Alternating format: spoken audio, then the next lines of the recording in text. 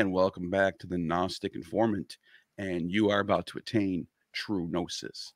And today I'm with Lord Snappy, and I forgot to pull up your YouTube channel. I'm doing it right now. But also, while while I'm pulling this up, we have a link for a Discord in the in the description that I'm am, I'm very very proud to be a part of. It's very it's very nerdy, and we get into all the um this deep lore so it's like into ancient religions, ancient philosophy, ancient history, psychedelic stuff, all that good stuff. We talk about that all the time. Where it's, uh, it's always someone in there ha- having chats, and it really is fun. I really enjoy like looking at some some of the stuff people are sharing there. But also go and subscribe to Lord Snappy. You know, he's put out he puts out videos. He he's got a degree in religious studies. So he's not just some random guy. He's got some background and he knows what he's talking about. And and not even on on top of the degree, you just are in the you're so you're so deep into this stuff that you're reading it. You're like me, you read it every night, and like the degree is just like extra, but like your knowledge is where it's at. You know this stuff. You are really well well read in this stuff. You can hold your own with any any of the best PhD type people in a conversation. I, I know that for a fact just from talking to you. Oh, thank but, you so much.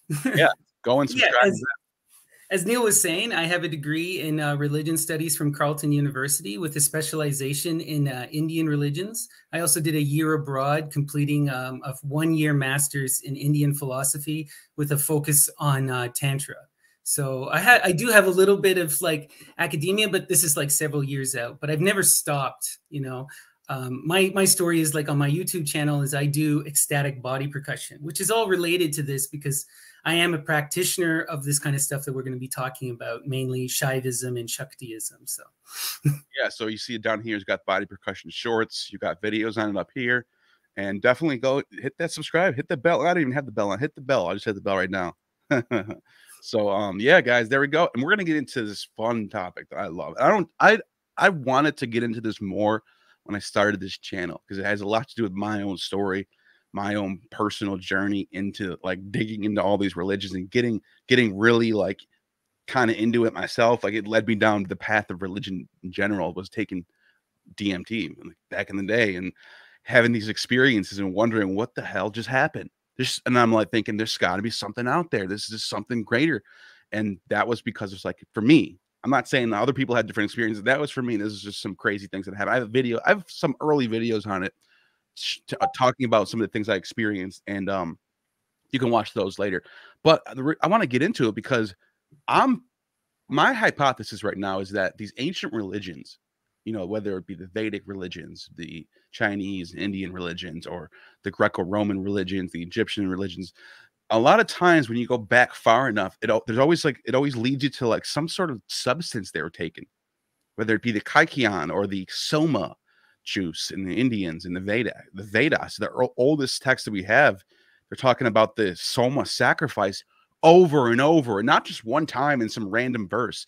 We're talking like every other passage has the word Soma in it, all over the whole text. When you so get into the Vedas, the, the the the Soma is so central. There's an entire mandal, which is like a chapter. It's the ninth mandal, and it's just devoted solely to the preparation of the Soma and it goes through like we're talking hundreds of years in different in different stages and how they did it and they show you just every single step is meticulous and is prepared exact you know and it's all about this uh, experience that you have of this sacrifice that you go through when you ingest the soma right yeah and i was talking to carl ruck about kykeon i did a whole bit up a whole hour long two hour long discussion with him and he did a, he studied Kykeon for a long time, and they actually had the green light from a university to go and try it. They they got their they they what they thought was the um the the recipe. They might have messed up on something, and I I have an idea of my own personal idea of where they might have messed up, but I'm not gonna get into that. Anyways, they they made their recipe, they tried it, they took it, and it was a failure. Nobody felt anything. So, oh, but I just thought it was interesting because the reason I brought that up is because you said it's so meticulous, it's got to be so perfect that when you if you if one thing's wrong and that rest of the whole thing is just doesn't the pH balance goes off, so, something happens where it doesn't work anymore. Well, th- it gets interesting in the Indian tradition because what we clearly see is over time is a uh, the ritual gets more and more complicated. And it gets more and more involved. Even at the beginning, it's still meticulous But by the end, where they're no longer using the soma specifically, they're just using random plants, every single step has been elaborated and has been like developed into this whole philosophy. It gets it gets so intense to the point where the ritual supersedes the actual psychedelic experience in the later tradition. So do you this is what I think I wonder about you. Do you think that most of these ancient religions that have common parental religions that we that are dead like the you know we talk about the proto-indo-european religions how there's a sky father dis pater who and the indians then dios pater and then the greeks is jupiter you could tell they come from a common source but also on top of that but on top of the linguistics and the and the stories and all that stuff and the characters i'm thinking the reason why they got into this mindset where there's always different gods everywhere and there's spirits everywhere and that you know dawn is some sort of special time of the day or you know the sun or like the moon sp- stages have certain powerful aspects i'm thinking they were taking something oh, i think yeah. and, and, what the, and the reason why this is so this is so profound because even religion today comes from these it, it's sort of a, an evolution over time even christianity cannot escape this evolution of religious ideas right I think it's important too that we highlight this, right? It's not just about plants, okay? It's also about the physical changes that happen in the body and physical exertion, the effects of music. It's all about entering into right. psychedelic states. How you do that changes. And even within the Christian traditions that are later removing these drugs, you're still having these psychedelic states, you know? What you just said is so crazy because when I'm thinking about Ruck and the failed experiment, they didn't have like Orphic bands coming in with flutes and and and uh and you know what are, what are those kitharas? Yeah, they, didn't have they weren't they weren't dancing. They weren't running around Greece and looking at the the, the dawn coming the, the sun. They weren't doing anything like that. They were just sitting in a room with like a professor and a doctor. Yeah. And I think this is like super. I think this is super important because within the text of the Vedas, the soma if it's referring to the drink, is only referenced in relation to the sacrifice or until the, the properties it gives you, you know? So it's like you cannot remove this from its ritual context. It doesn't work, right? And it, it becomes very clear that this whole thing is a part of it, right? Like the the rishis have to go into a cave that's literally called the vagina, where they block out all light and seclude themselves for a minimum of 24 hours. And then on like more rigorous sacrifices, sometimes upwards of a year. Imagine wow. that, where you're denying yourself all sensory. Then you're taking something with a DMT like substance that causes light and this incredible shine to happen. So you're taking that and you're going out and experiencing the dawn, right? Mm. You're doing the sacrifice to make the sunrise. It's, it's, you're going to be tripping and experiencing things on a level we can't imagine. Right? right. And then you write those things down or or orally tell them and they get passed on and then they get like tweaked and changed and all of a sudden you have scripture. Exactly. But going back to what you're saying, like I'm really influenced by the um the writings of Terence McKenna. And yeah. what we see in his writings is he goes back right to the beginning of the cave paintings. And these emerged between like 30 and 40,000 years ago, right? But prior to that, we have no art, right? Like human beings are not decorating things. Then all of a sudden, there's the emergence of this art, and it's everywhere. It takes over the entire human condition. And if we look at the earliest artworks, we see two things. We see mushrooms, clear reference to psychedelics, and then we see a clear reference to magic, right? I'm yeah. creating a symbol of something I desire, like an animal, like a deer. And then I'm putting spears in it, showing that I get the deer and I succeed. This yeah. to me is sigil magic, right? Yeah, it's like you're telling yourself, my intent now is to go out and hunt, and I'm going to do it. I'm going to make, you know, it's like a blood pact type of thing. Like, right? The, the act of doing that sort of pushes something inside of you to actually finish the job and do it. now you have that pact done. Once you have that down, you're going to get it. Like even people around you are going to press you. Didn't you do a sigil pact? Go, go get that animal. You better go do it. And it's like, right? and then you complete it, and everyone's like, "See, it was the sigil magic the whole time." Of course. Exactly. But it doesn't really matter, right? Doesn't matter. No, I know. Now we're getting into this magical yeah. thinking. We're getting into this ritualization. We're starting to color and interpret everything. In a sense, it's like the it's magic is like the plan before the plan. You know what I mean? Right, right. And also, this occurs all with the development of language and all of this happening all at the same time. But what I think we see is also is that everywhere human beings settle across the world, no matter what, they're engaging in drug use, engaging in psychedelic states, and they're doing it in extreme in any way possible. Like, here's just a list of some of the common drugs that we find around the world, right? You have psilocybin mushrooms, right? Absolutely. Water lilies and water lotuses. This is Egypt and also India. We have cannabis, right? This is across Asia. Um, wow. The Amanita muscaria. This is across Asia, Europe, and India, right? We have ephedra across most of Asia, right? We have the ayahuasca vine that we see in South America.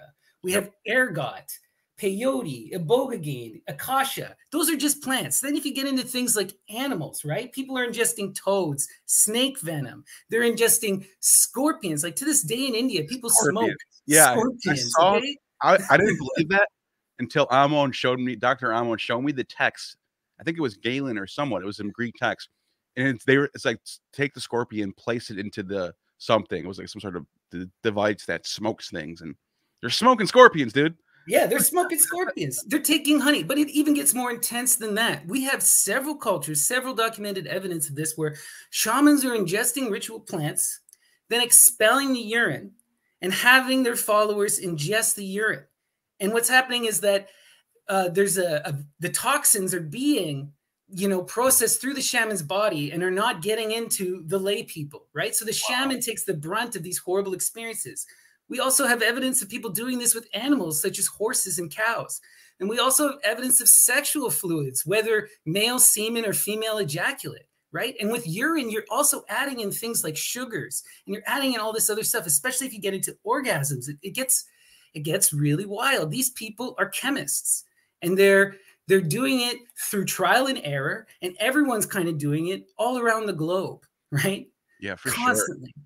For sure. What we, what we see emerging in the Bronze Age is like this ritualized refinement of all of these things. Mm. And like you think it really starts to become more systematic, you're saying around this time? Exactly.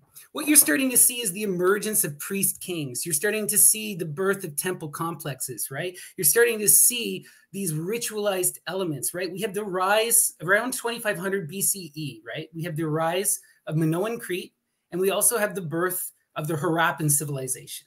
And at this time, Egypt is also like a major player. You also right. have Sumer, You have um, sites in Turkey, such as Göbekli Tepe, Indus Valley, like the Bactrian Margiana Society, right? Is, is, Indus Valley starting to populate by this time? Yeah, so that's our Harappan civilization. Oh, okay, all, I know. Yeah, yeah, all happening 2500 BCE. And what really I find intriguing is when you start to connect all of these groups, they're all somewhat trading. Now we don't have direct trade lines, but it's clear that like the Harappan people have made it to Egypt and they've made it to Mesopotamia. And it's also clear that the Cretes have made it to Mesopotamia. So there's like this cross cultural dialogue that's happening. Yeah. And then we also see the same symbols in the same civilizations and the same kind of ritualization around drug use, you know? Wow. So, like within the Harappan civilization, we don't have massive temple complexes, but what we do have is we have a priestly caste that is elevated with a priest king okay, that mm-hmm. doesn't rule like a direct authority. We see the same thing paralleled in Minoan Crete. We see yeah, you same... see the, the, Babylonians. You have this dual this dual relationship where you have the king who's in charge of the armies. He's in charge of basically everything, but he has to be he has to be um what is it called like so like he has to be like um he's below he's the, the only person who's sort of above the king in the babylonian civilization is the high priest who control who runs the temple. He runs all the religious affairs the laws the law codes. That's the high priest. And so every year and during the Akitu festival and i'm not the expert i got this from uh, dr josh bowen told me this. Mm-hmm. every year at the Akitu festival the entire city of babylon would witness the king the mighty king who's in probably jacked looking, probably has all the army behind him, probably mean, mean too. They would watch him get smacked in the face by the high priest just to remind the society the high priest is in charge. And that high priest is also in charge of the psychedelics too. Right. So you see these things also going on in both Minoan Crete and the Harappan civilization. What's interesting here, though, is unlike in Egypt or Sumer, you don't have these king figures, okay? You do not have this rigid authority, and you still have this connection that's clear to a shamanistic, ritualized society. The other big thing you get are these kind of yogic figures, right? More explicitly in the Harappan civilization, but in both civilizations, we have all of these seals and on these seals are usually images of bulls and other sacrificial animals. Then you have these characters with horns, you know, and the one in the Harappan has like three faces. It looks to me, and a lot of scholars have made this connection, like like Shiva. No, yeah, okay. Pashupati, the Lord of Beasts, right? Who's also the divine yogi, right? Yeah. So you see this figure represented. The also thing you see is there's only one figure who's made into actual murtis or like physical idols. And that's this mother goddess figure. And you see the same parallel in Minoa, in Minoan Crete. Yeah. Is this focus on the Great mother goddess. You yeah. also see all of these by the way and magic way, amulets. Not to Go cut ahead. you off, but just so you you're you're so spot on because even in Roman times, this is Shiva, by the way. Even in Roman times, the Great Mother by the time she becomes Magna Mater in Latin, they're still calling her the Idaean mother, which is from the Mount Ida in Crete. So she's still tied to Crete even thousands, even 2,000 years later. Right. So then and, that's a big deal. But and yeah. also at Knossos, you have this snake figure, right? You have this at the at the at the main um, um in like a palace complex, and a lot of scholars have found have found like similarities to the Hindu goddess Manasa, and there's even a reference in the linear B, in the Greek linear B, that says Manasa, you know? And this is a blind snake woman. And if you talk to Amon, he's all about finding this blind snake woman.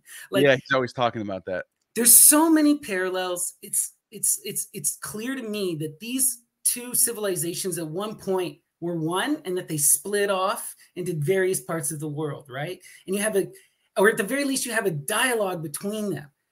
You also have labyrinths, these double bladed axes. You have these uh, phalluses and these vagina symbols that are together, which is like our lingam in India. It's just, it's, it's wild what's going on there. So, yeah.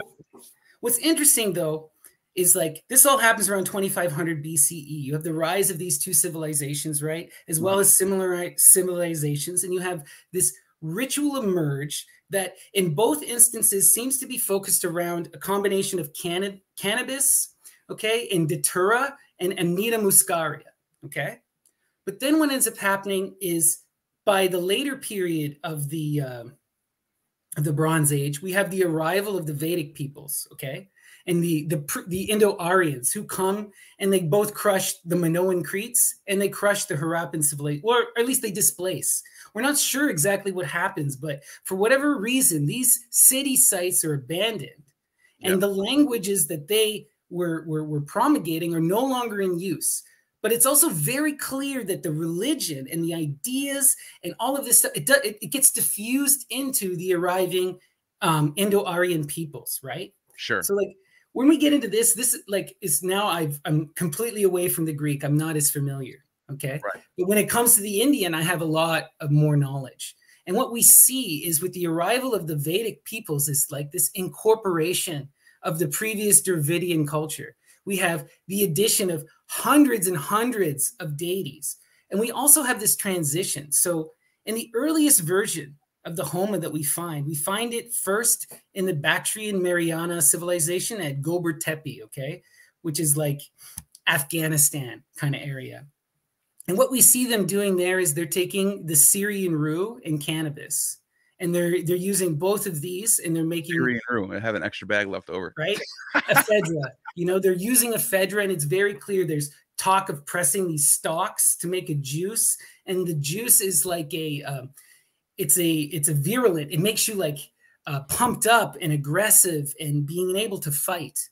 Yeah. But it's also clear, like when we look at the Avestan texts and we look at the Vedic texts, there are, there are more than one drug going on here.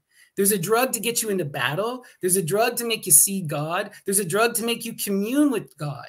But they're all referred to by the same name. But the context is clear though. And there's even like color differentiations that happen when you get right down into the language and when you get into the symbols surrounding various gods and goddesses. Like certain gods would be called for certain drinks. And it gets like super complicated. And also, we're having this like, you have this society that is mobile, right? They're a horse culture and a cow culture. And they're moving from you know the mountainous regions of like afghanistan and they're coming into india. The drugs are changing. Everything is changing. So i think why, why we're having such a trouble with with soma is that it goes from being the syrian rue the ephedra which you can find in the mountainous regions of the himalayas to it, it starts to kind of disappear okay and its availability is not as widespread and then what happens is you get this process of syncretization where the ritual gets exposed, where it kind of gets demystified and set out to, to, to the general public. Even as the Brahmins, they try to keep it internal. It doesn't stay that way. It's very clear that, like the Buddha and the Mahavira and all of these other sages that arrive later and are critical of the Vedas are aware of the Soma ritual. They they know what's going on, and they're either dismissing it or they're incorporating it in a different way. You right. know, so that's what I was wondering. Like, so what, what happens? What happens? So Terence McKenna talks about this a lot, and I think he's largely right. What happens is it's it's probably a type of ephedra or a type of grass that has DMT, and it gets over harvested as this information becomes more public and people just start taking it because they're not cultivating it. There's this whole thing within the Vedic text about it has to be from the wilderness, it has to be wild. And you see this even today with other shamanic groups, like with ayahuasca, right? They don't want to cultivate these plants, they want them to be wild. But in the case of the Vedas, this becomes their, their downside, you know? And then what we see is this ritualization. We see the Soma ritual become the main focus.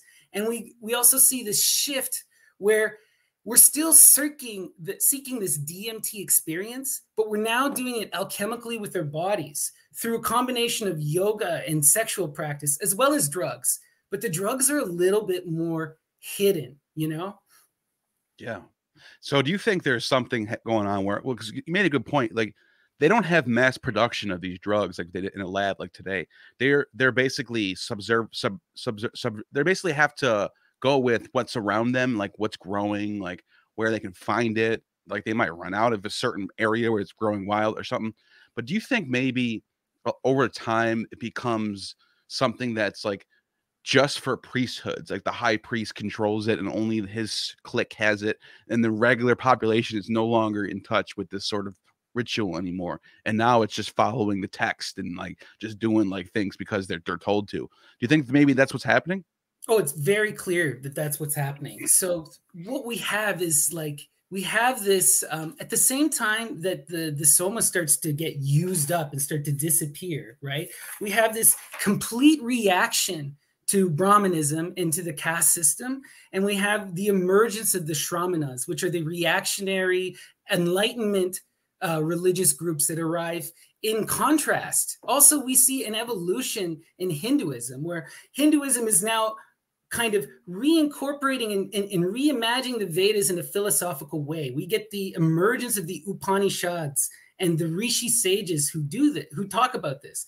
And there's yeah. like a clear conversation happening between like the earlier Dravidian Shaivites, which predated the Vedas, and the Vedic people, and then as well as the Buddhists and the Jains and these other groups that are arriving. So basically, within this period of 600 to 200 BCE, you have this wild philosophical emergence. You have all of this dialogue. And this is why like the Sanskrit becomes so important. Everyone is writing in Sanskrit. They're debating the Veda. They're debating the importance of the sacrifice. And what defines one as Hindu is whether or not they accept the authorities of the Vedas. And what, what, what comes really interesting is it's not the Vedas specifically that they're talking about, but the philosophical interpretation of such. Almost all modern Hindu schools to this day don't go back to the original Vedas. They don't go to the Rig. They go to the Upanishads, which are commentaries upon right. the Rig Veda. You, you know? know? what it reminds me of? It reminds me of the Upanishads kind of reminds me of like a Talmud and the the Vedas is like a, a Torah, a Torah Tanakh. No, no, the Rig Veda is a Torah, and then you have the other Vedas, Sama Veda, and all that. That's that's the Tanakh, right? I'm just and, and I, this is I'm not saying this is the case. I'm just I'm just using I, these ideas to compare religions, right? So you have your Tan- Tanakh Torah in the West with the Judaism. You also have a Talmud, which is a commentary on the Tanakh. But then you had this New Testament that comes out of it, and it's it reminds you of the Dhammapada, where you have this character Buddha. He's coming out of that Vedic tradition 100%, but he's also critical of it and he flips it on its head, sort exactly. of like how Jesus does. So I, the arc is a very similar. Western religions and Eastern religions have a very similar re- religious uh, evolution arc. It's fascinating. 100%. It really is hundred percent. It's it's wild to see when you when you really start to parallel. Like you see the same thing. This elitism, this ritualization, this um, this uh, loss of the sacred, and it's all about you know going to the ritual. You have to go through the priestly caste in order to have access. But then what you wind up seeing is you see the reaction to that. You get Jainism, which is like, no, no, no, no, you can achieve enlightenment on your own. Same thing with Buddhism, right? But these are all about the alchemical processes in the body, right? But even within these tech, within these groups, we still have psychedelics. They're just downplayed and they're seen as tools to be used in relation to yoga. Yoga becomes the, the main force for enlightenment. But like, I honestly, you see the Buddha all the time. The Buddha is under a Bodhi tree the Bodhi tree is used by the by the Indus Valley Civ as part of their DMT experience, right? Mm. You see, you see the the Buddha's that, always. That means he's under the influence right? of that. You see the Buddha with all of um, the the lotuses, right? Yeah. And you see all these Indian. You broke up. No, you're back. You're back. You're back. Okay. Yeah. But yeah, you see all these. You see the the the, the Buddha achieves enlightenment under the Bodhi tree and then a snake comes over him to sh- cover him from the from the uh, to shield him from the weather like this could be a reference to snake venom and then also you have um references to to like uh all of these like lotus drugs like blue and red lotus and there's this understanding that each lotus causes like a different effect like one will make you more more aggressive one will make you see things it's like these drugs continue but they just evolve and they get it becomes different the main focus becomes on the pranayama and on the extension of these trips. You get stoned and then you want to extend them for as long as possible. And yeah. it becomes all of this thing like they get right into like, I can make my uh, pituitary gland produce DMT and have the DMT go down my spine, and I can be in a permanent state of bliss. You know, oh, like when that, you get into the kala that's the, that's the high priest you want. You want right? a high priest who's continually on DMT 24 7, 365 days a year. He's just well, that's how these guys like one of the things you'll see these yogis do, right? Is they'll be so stoned on DMT, right, through these yogic practices that they can destroy their body. And they'll do this as like the body means nothing, it's meaningless. So watch as I stand here and let I my think, arm rot.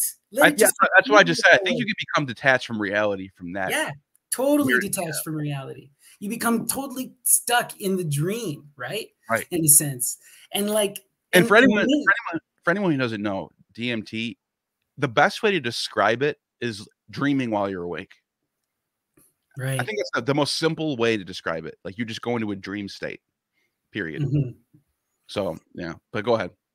Exactly right. Like you're going into and you're entering into these these uh, states where you're where you're experiencing consciousnesses separate of your own. Okay. Yeah. And these are disembodied forms that appear like lattice work. Like you told me about your psychedelic trip, and it appears like a lattice work. It's the hmm. same kind of colors, the same shining lights. You see people reacting to this all over, right? Like very, the very reason fluid. why. Go very ahead. No, I just said very fluid, sort of. Right moving. You know, and you'll see people with multiple heads and multiple arms because the idea is that these gods are are existing in multiple dimensions, four dimensions instead of three, right? And they appear like a lattice work inside of our brain. yeah, it would be like entering another dimension that like it'd be like a 2D 2D creature trying to understand the third dimension, just like an another layer of reality that's right? almost impossible to uh describe but the um, other thing to focus on here too with with these rituals is what is the purpose? what are these people doing? What are they trying to do with this Kykeon, with this Soma, with this Datura and stuff? And this is where I want you to play that video by uh, Brian Muraresku. Sure. This this directly goes into that. Yep, I will. This is interesting. Uh, I love Terence McKenna. I just think he's just whether you think he's legit or you think he's crazy, he's fascinating regardless. So we're gonna play this video. Can you see the screen? Yep. Okay.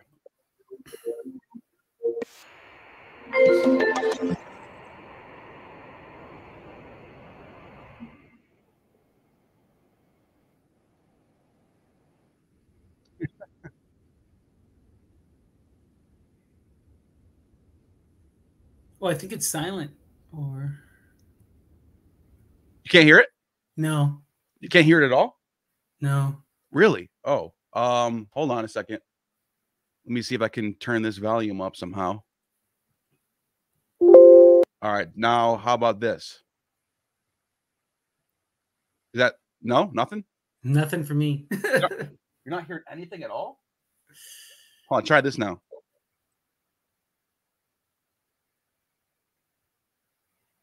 Nothing at all. Nothing. Really, Chad? Are you, Chad, are you hearing it? No, no sound here either. What is going on? What Weird. the heck? um, Doesn't want us to watch Brian Muraresku. uh, let, me, let me see something real quick. I think there's I think there's a way to round this real quick. Hold on a second. Speakers. Uh, let me see. Okay, let me just try this then. Let me know if you can hear this now.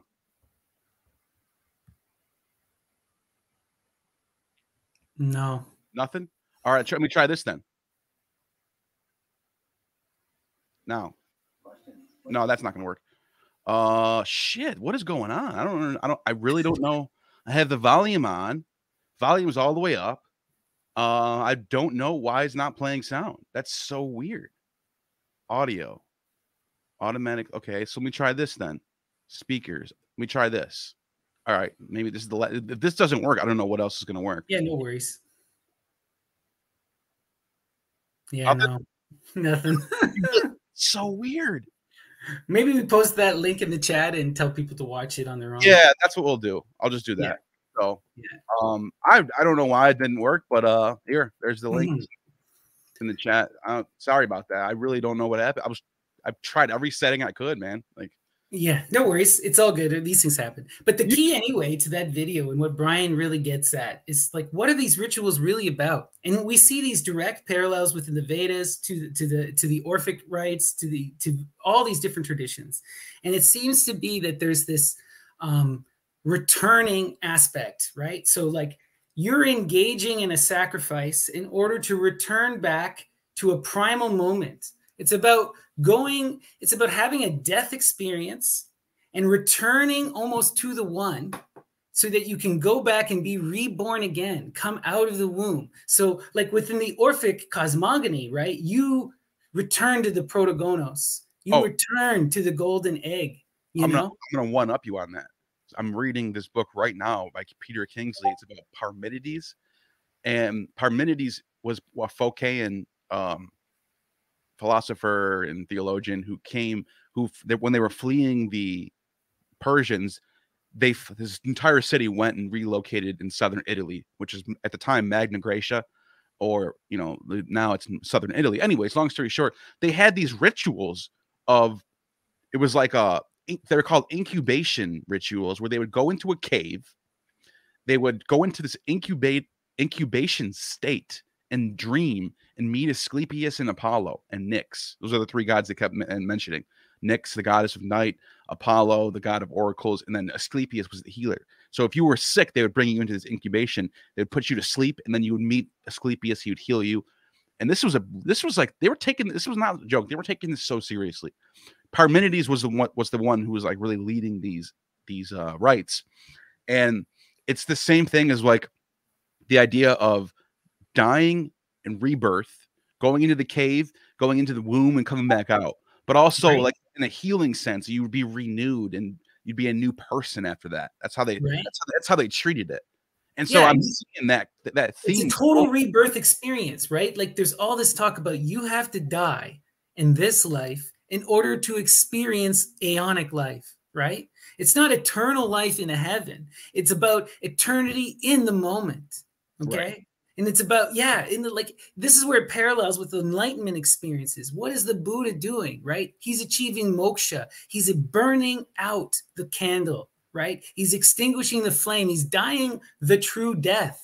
But by dying the true death in that moment, you escape the cycle of death and rebirth that you see in all of these groups, right?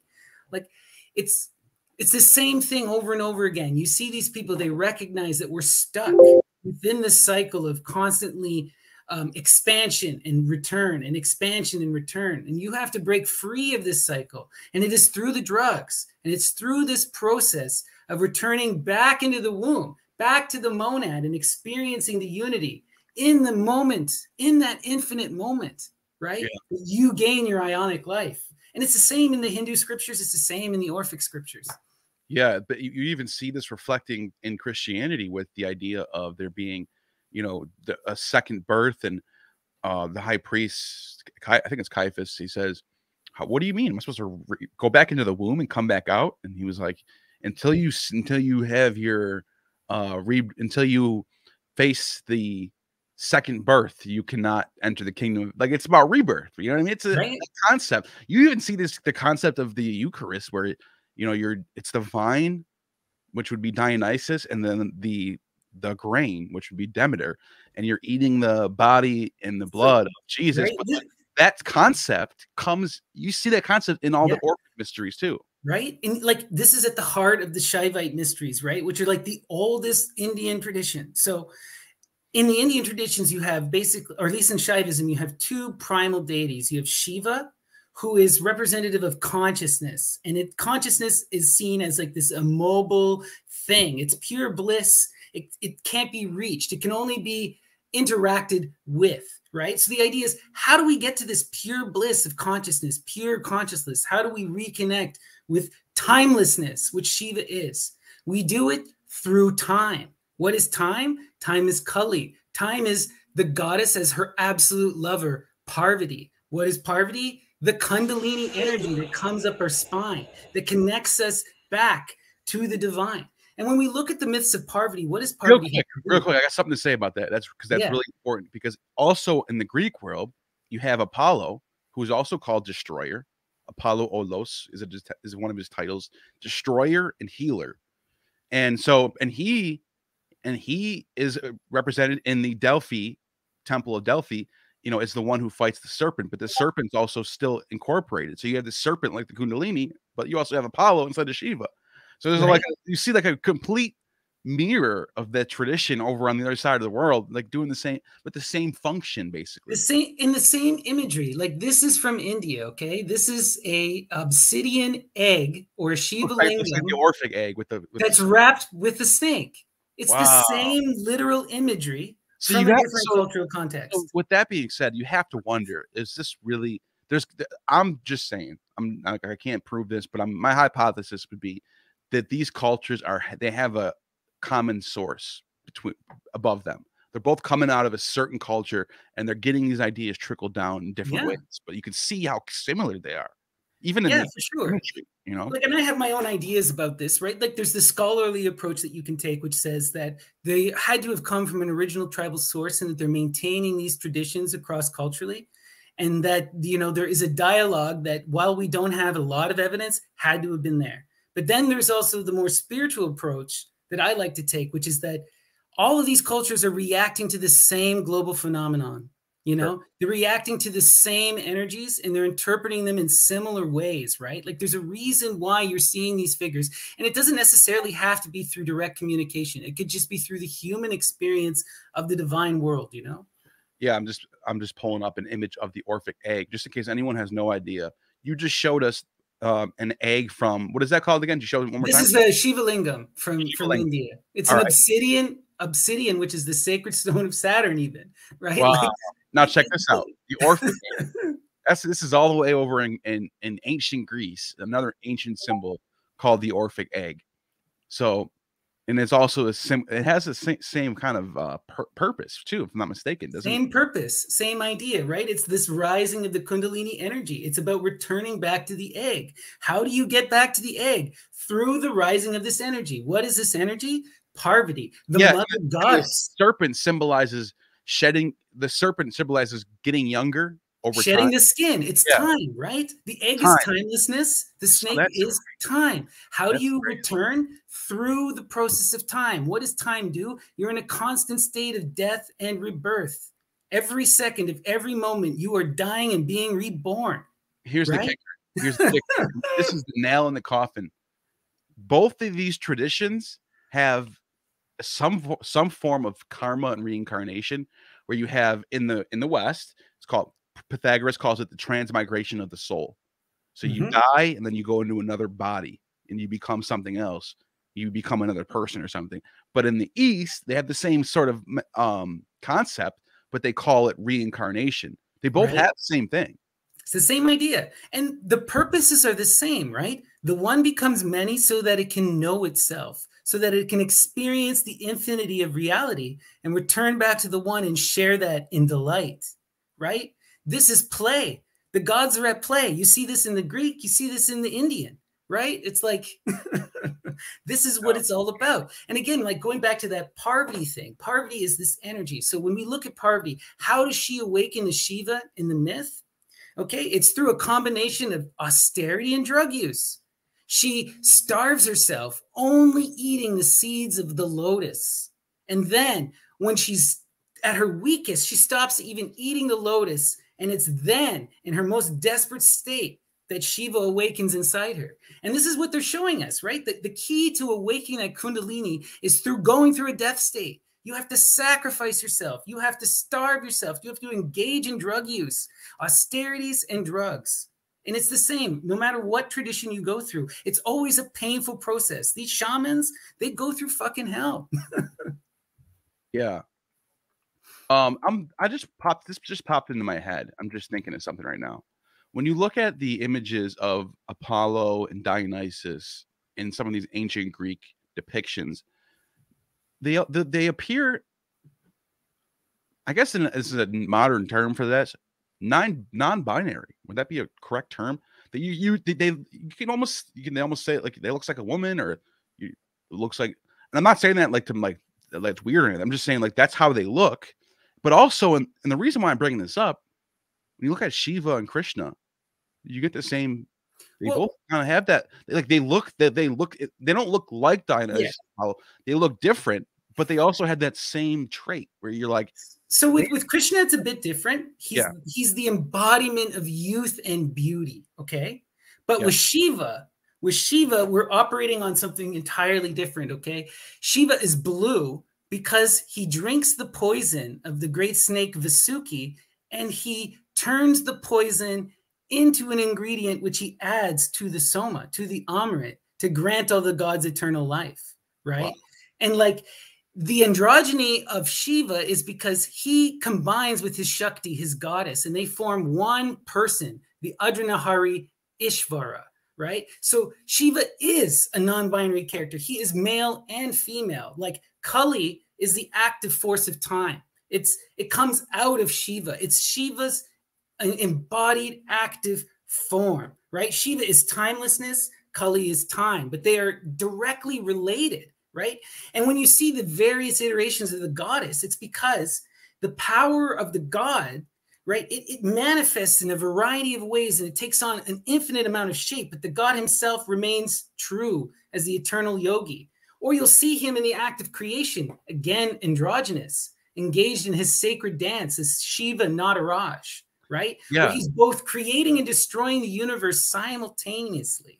and You know? both both of these gods are connected with the serpent and connected with uh, being called destroyers. They both that's the title for Shiva, the destroyer. It's also a title for Apollo, and they both have sort of they're both depicted in this way where they're very they look very gentle and calm and very beautiful, very Mhm. like they're not like it's not like you're looking at like um I don't know Zeus or something like there's a, there's a certain particular look that these gods are given, and I wonder if there's that's something they have in common. So the, the interesting thing again, like with the Indian gods, you get the same idea as you see with the Greek gods, where they'll take on epithets and they'll take on different personalities. So you're approaching the gods in a different guise, right? So Shiva is the lord of yogis, is very different than Shiva as lord of the dance, or Shiva as Ardhanari Ishvara, or Shiva as like um, Bhairava, the destroyer right? So like, or Rudra, the one who ruins the ritual sacrifice, or the who's also the howler. You know, like these gods have all of these different forms. So he's only really beautiful in, at certain times in certain places, right? Like the figure you were showing, he's known as like the divine medicant. That's right before he gets married to Parvati, and because Parvati basically has to fucking beg him to look presentable to her family. you know, so it's like you get this. What I see with uh, Shiva is he's a direct, almost direct correlation between two gods, Dionysus and Saturn. Okay. Within the Orphic hymns, he takes on this timelessness, this original desire that causes the egg to crack and to shatter, right? And that is the Saturnian aspect of him. But then and, when he incarnates, also Shiva, you take that word Shiva and it, it transliterate it, and I'm not even saying translate it, transliterate it over into Western religion, Western Semitic tongues, Sheva, seven. So you're like, that's kind of a weird coincidence. Shiva and seven. It's the same name. It's the same word as the, as the number seven in Hebrew. Seven is the god. Uh, Sheva is the day of the week that you um, worship either Saturn or El. So there's that connection too. Of course, like you see all these connections, and lots of people have connected like Shiva, El, Set, Saturn. Like this is a very common thing that you see scholars doing, and as well as Shiva and Dionysus, because Shiva has a dualistic form. Okay, so at one point he's the timeless yogi, right, who exists removed, who causes time to start through his violence, very Saturnian. But at the same time, he incarnates into the world as the divine madness as the wine, as the vine itself. That's crazy. And they use this language. That's right? there's so much in common. And my so I'm I'm gonna I'm gonna go right for the jugular with this um with this comparison. And you're about to watch. You're I think you're gonna agree with me on this. Check this out. There's a god who comes out of Crete, by the way, out of all places, Crete. Sabazios.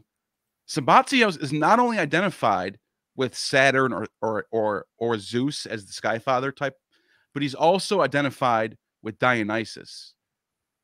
So there you go. You have a god that's just this like our, yeah. This is like this is clear. Yeah. Clear to me that there's a parallel between these two figures because we've already shown look, how look, much look overlap is happening between Crete. I didn't even know this. I just pulled this up. Look at Sabazios' name has been connected with the Indo-European Suwa. Suwo. Now that's how close is that to Shiva?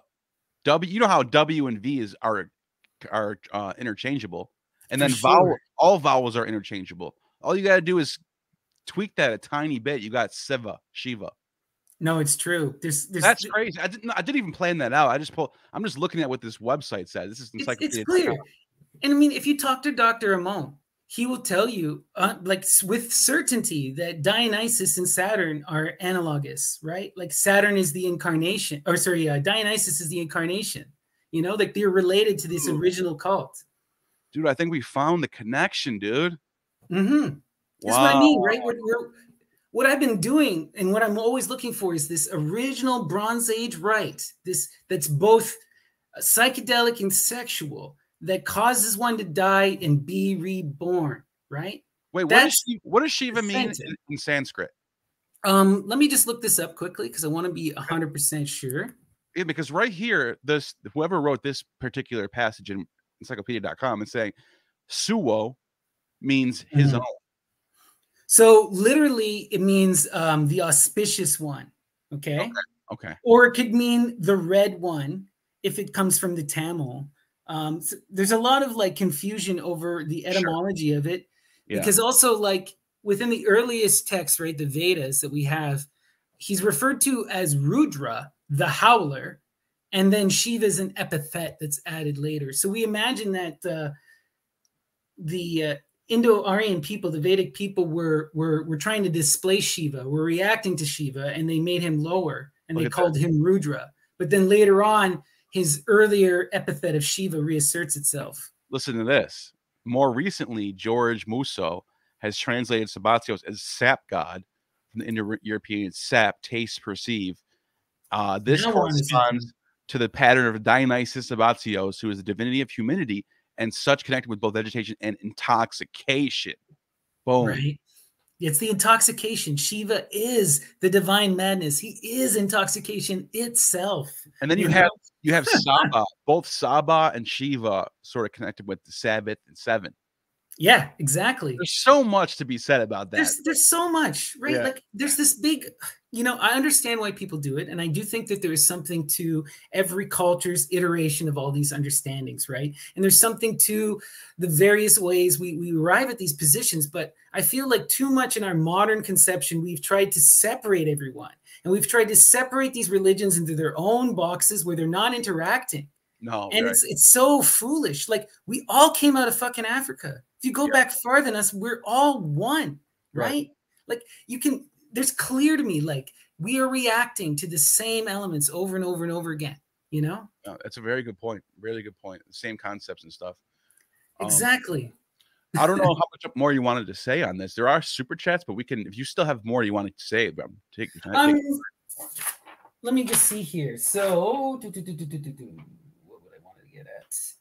Oh, just that, like what we see in the later Indian traditions, right, is is not a stopping of this psychedelic of this psychedelic school, but a complete revolution of the psychedelic approach, where it's becoming an internalized alchemical process as well as a drug one. And a lot of people fail to see this. Like we have this conception now with like hatha yoga that like everything is a, is austere and it's about physical control. But if you read Patanjali, he's still talking about the drugs and he cites the drugs as an authentic way to get there. And he even recommends the drugs to students, you know?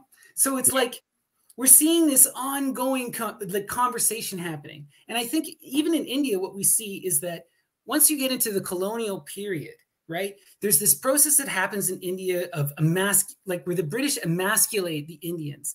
They just attack them for everything. They point at anything that their culture deems unworthy and highlights it and says that this, this is the worst fucking shit imaginable. So what we see is that this vilification of the drugs and this vilification of the soma has this intrinsic impact across India. And at the same time, you're seeing all of these Indian traditions that are now about the internal alchemy. They've moved away from the drugs right? They're not as focused on them, or they're using them in conjunction, right? So when we're now coming back and we're looking for the soma, you're getting this reaction, right? The Indian yeah. people are saying, well, it can't just be one drug because we have hallucinogenic experiences. We have experiences of extreme strength and vigor. Like, how can it be a mushroom? Also, you're missing the point, right? The Brahmins are arguing about the ritual, they're not arguing about the soma. Why is that? Right? It's the ritual that's important, and the drugs are interchangeable. Within the Brahmanas, which is like a commentaries on the Vedas, we have several options for drugs that you can take uh, like, that are different. Like we have um, Phalaris grass is one of them that's that's talked about, and um, Syrian rue and a couple other things.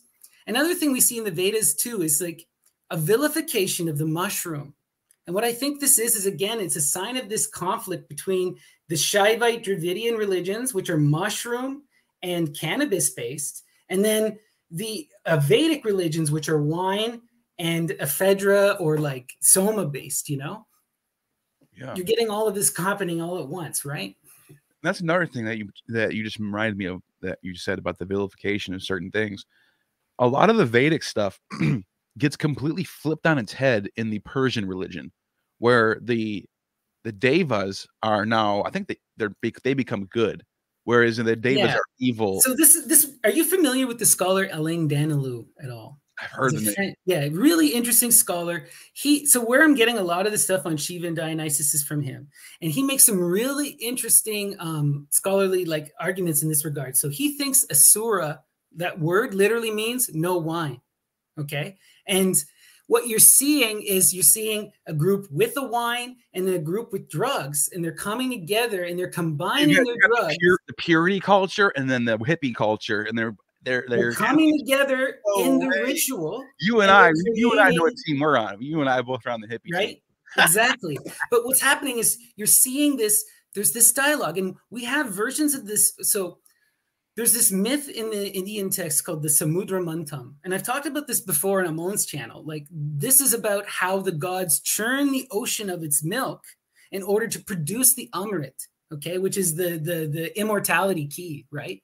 And uh they do it through this combined sharing of stuff. And then they take their drugs and they they hate each other and they they fuck off again and we have versions of the samudra manthan in the avestan languages that continue in their own way where it's not it's it's the uh, the devas that are the problem right the devas are the bad guys the devas abandoned the drug we kept it you know but you get the it's it's like it's to me what it is is like there were once one culture and then there was like a fight about how you're supposed to do this ritual and then there's a split that occurs.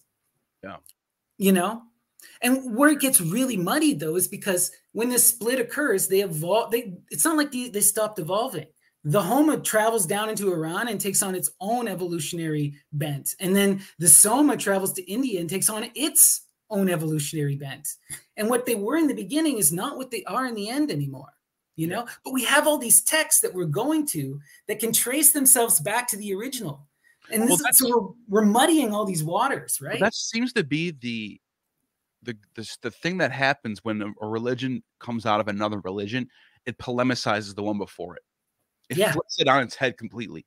And like those Yeah. da- those devas that we are talking about, you get the you get the same thing in the Western world where you have the the is the day is it the the dios the dewas dewas they're but they're the gods you have the olympians and then you have the the titans the Titans, yeah. and it's the same it's the same 12 titans and 12 whatever you see the same numbers and the same sort of like traits they have the same like etymology Mm. sometimes but not always but like sometimes but you see you can see the commonality the overlap between the two But notice too, right? Like the Greeks have this understanding between the Chthonian and the Olympian, right? What is Dionysus? He's Chthonian. What is Shiva? Chthonian. Who is Saturn? Chthonian, Titanic.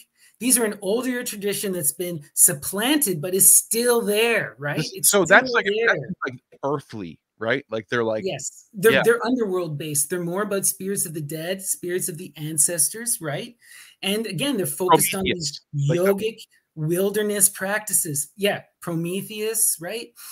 father these- of mankind right Exactly. And again, it's about in these beginning, these earlier. I feel like what we're seeing is when the when the proto-Aryan peoples come in and they migrate into Greece and they migrate into India, you get this co-mingling that happens, which is both antagonistic and cooperative.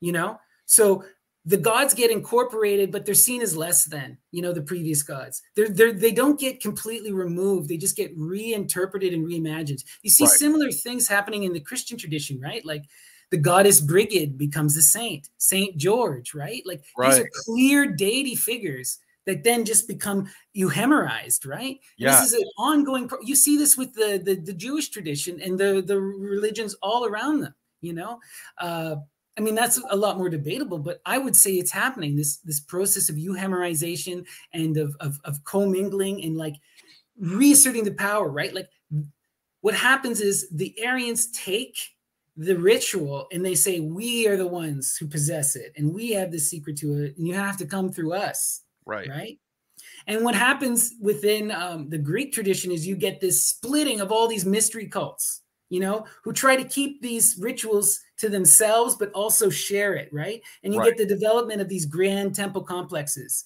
In Yeah. india what happens is the the soma kind of the, the information gets dispersed throughout everyone. And you get hundreds of different religious and philosophical movements that are all incorporating it and interpreting it in their own way you know? Yeah absolutely but they're still all reacting to that original ritual, that original sacrifice, this same idea of returning back to the monad, to the embryo, right? it seems to be the common denominator is the is this sort of concept of dying and res- rebirth Yep.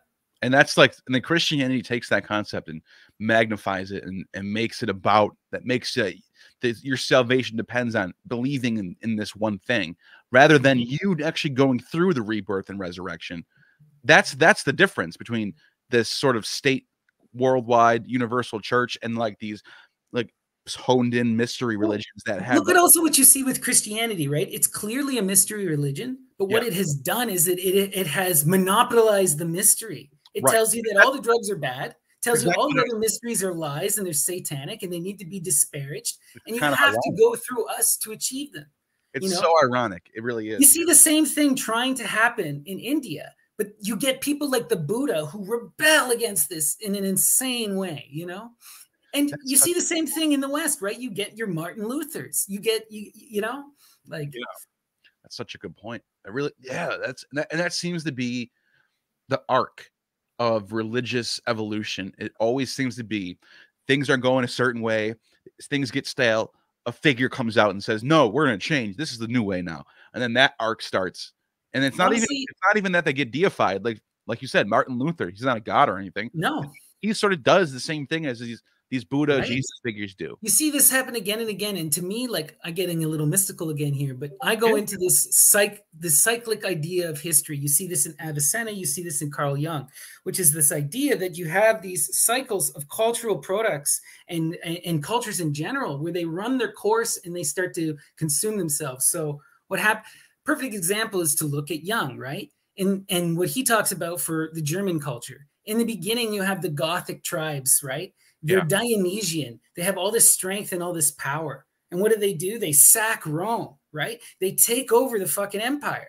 Gothic then they evolve and they become Apollonian. They produce the heights of Western art. You know, we get all this incredible advancement, but then it Yeah. starts to calcify.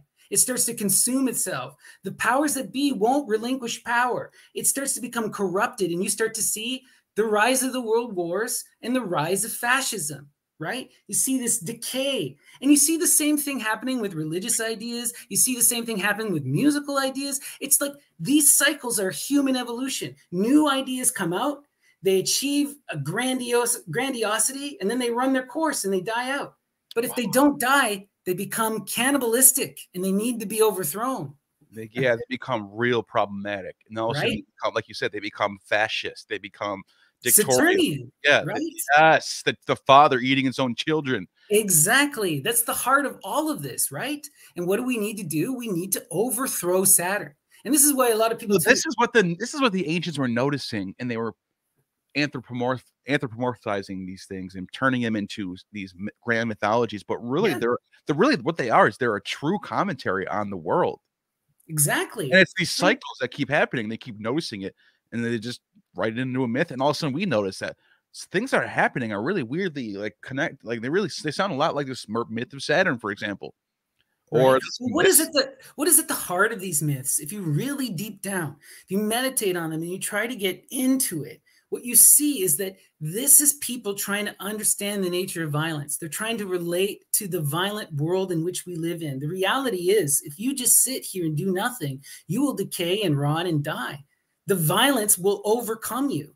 And the only thing we can do to resist violence is to be in a state of evolution and change, to constantly be pushing ourselves forward, to be engaged in that sacrifice, right? What were the when the Vedas are talking about the sacrifice, what does it do? It perpetuates creation forward, right? By going back to the one, we're also pushing us in to this grander, ever expanding evolution, you know? So I feel like our ancestors, they're reacting to this constant state of violence and they're trying to understand it. What is it? What is the purpose of it? Why is why do we need to evolve? Why do we need to ever push forward? And then that's where we get this thing about well, we're evolving to a point where we can experience everything and then we can overcome that Saturnian force and return back to the one. You know? yeah that But we need to progressive resist that force of decay. That Yeah, you got that- that- that progressive spirit is the is Right. like, that's like the now what would you compare that progressive spirit the always trying to be better always trying to fix what's what's wrong in the world always trying to do just to, to like move forward and not just stay in one spot because if you think about it people who are conservative today you throw them in a world 200 years ago they'd be the liberals they'd be the ones like this is wrong we need to fix it of course. But this like is the this there's is always the- going to be that progressive spirit and there's always going to be that conservative spirit yeah. I'm not, I'm not trying. I'm not saying it's all political. I'm, but I'm saying, Mm. what do you, what do you, what would you compare that to? as far as like deities or anything. Well, I honestly believe that that progressive spirit is the Shiva Saturn, right? Okay. The Shiva like if you look at the those texts, right, they describe this golden age. Even in the, in the, in the Hindu text, they talk about a time, this primordial wilderness, when people were at a state of peace, right, and there was this equality. But what we're also get is like this understanding that this can come again right? And there's this polar magic that is involved with both the Shaivite tradition and the Saturnian tradition, where you're trying to reset the poles. That which is on the bottom will be upon the top. This is the great magic, right? It's this revolution, this constant evolutionary cycle. Shiva is all about that. The new, push forward, change, shed the old skin, right? Yeah. You know like what? The snake yeah, and I noticed the only way you get to Shiva is through time. You have to experience the violence of time. You have to suffer at his hands and be consumed by him.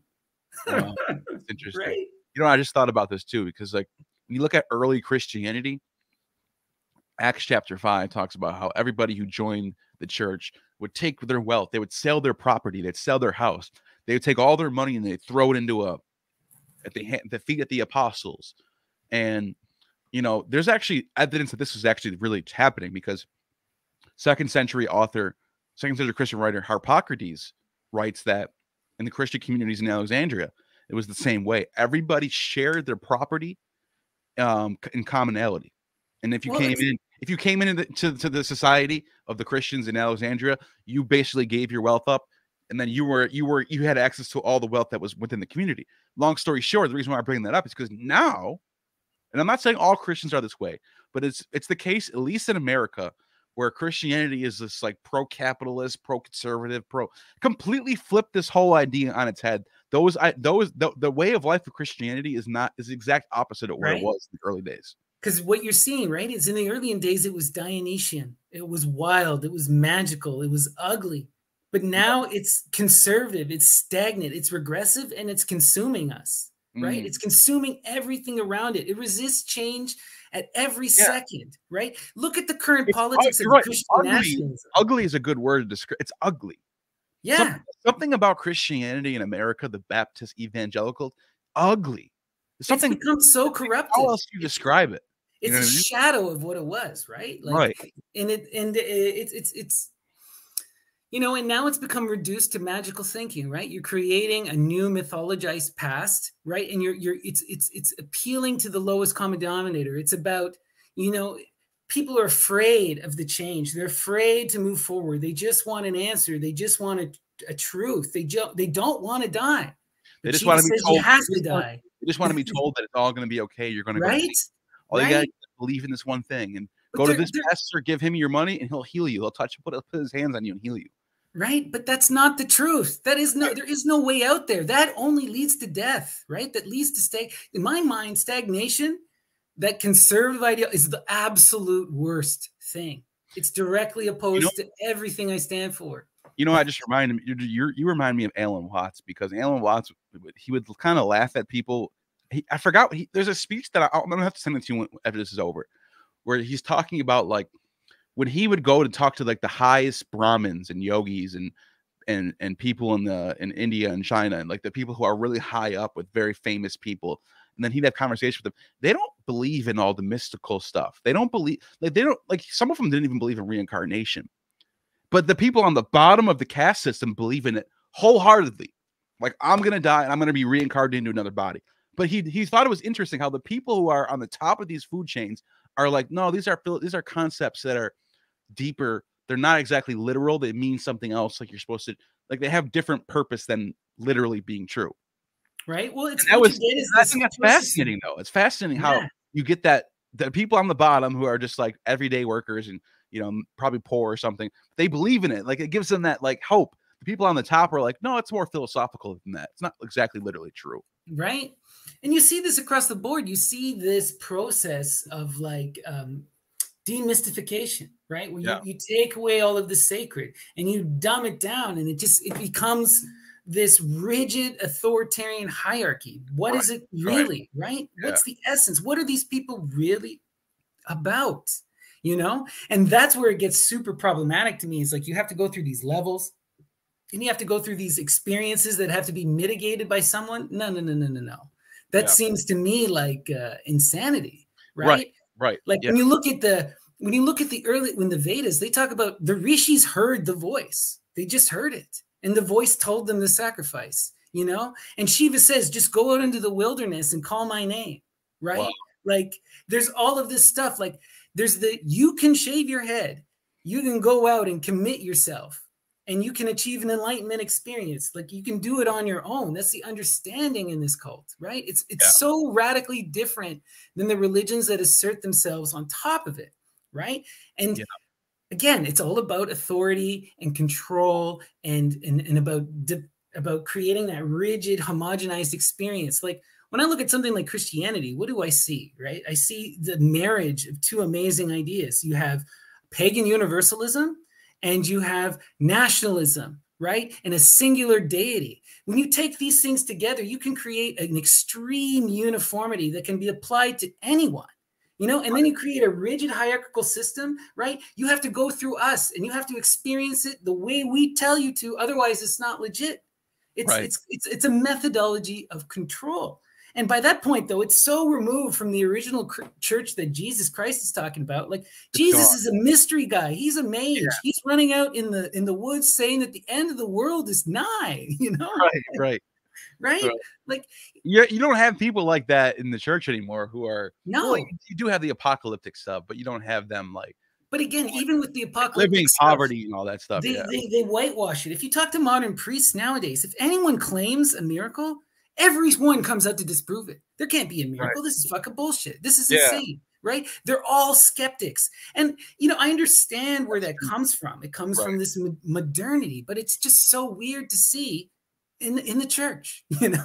It's funny. Yeah, that's a good, play. good point. Right? Like they, um, they have telescopes. They're more scientific than just about anyone.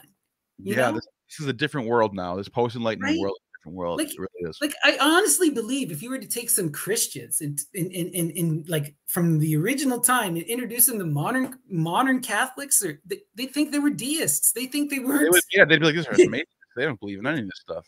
Right? right. They, they wouldn't understand it even remotely. It's a good point.